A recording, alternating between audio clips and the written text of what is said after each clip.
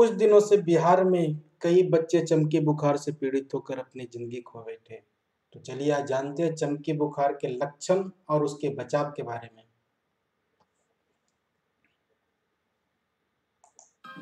Hello guys हमारे YouTube channel को subscribe कीजिए और लेटेस्ट वीडियो सबसे पहले पाने के लिए बेल आइकन दबाना ना भूलें।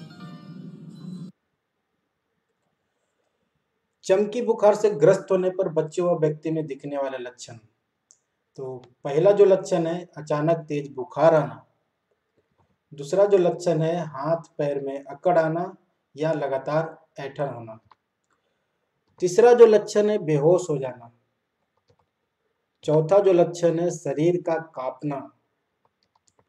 पांचवा जो लक्षण है, शरीर पर चकता निकलना। छठा जो लक्षण है, दांत पर दांत दबाए रहना। कैसे बचाए खुद को या अपने करीबियों को चमकी बुखार की चपेट में आने से? जानिए बचाव के तरीके।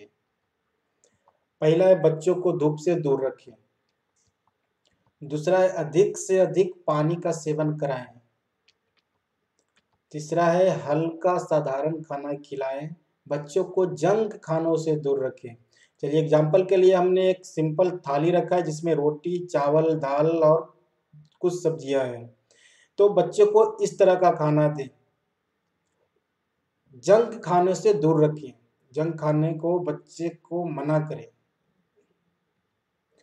खाली पेट लीची न खाने दें। अगर बच्चा भूखा है तो उसे कुछ कुछ खाना खिलाइए। उसके बाद उसे लीची खाना हो, जो भी खाना हो खाए लेकिन भूखे पेट लीची खाने से मना करें। बच्चे को जूठे व सड़े हुए फल न खाने दें। गाँव में आदत होती है कि जो जूठे होते हैं, वो बच्चे को अक्सर दिया जाता है खाने के लिए। तो जूठे खाना बच्चे को मत खिलाइए, ये उसके लिए बीमारी का कारण बन सकता है।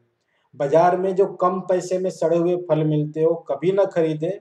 आपके पास पैसे नहीं है तो फल ना खरीदें, लेकिन ये जो बीमारी पनपने वाले जो फल हैं, इस तरह के फल को आप ना खरीदें। बच्चे को उन जगहों पर न ले जाएँ जहाँ सुअर रहते हैं। खाने से पहले और बाद में साबुन से हाथ ज़रूर धुलाएँ ताकि उनके हाथ में जो भी बैक्टीरिया है वो अच्छी तरह से मर जाए और उनको बीमार होने से बचाए। बच्चों को नाखून न बढ़ने दे, नाखून में भी गंदगी पनपते हैं और बच्चे को अक्सर आदत होता है कि अपना नाखून को दांत से हमेशा मुँह में रखते हैं। रात के खाने के बाद हल्का फुल्का मीठा खिलाएँ। रात में सोते समय मच्छरदानी का उपयोग करें, बिना मच्छरदानी को सोने से मना करें।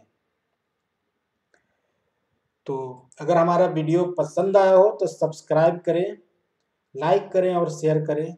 Thank you.